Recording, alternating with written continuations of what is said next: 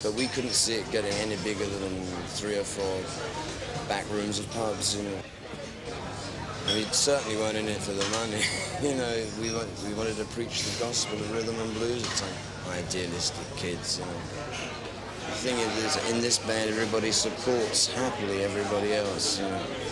And uh, which is probably one of the, the main reason that we're still playing together, you know, is that we actually enjoy playing together, you know.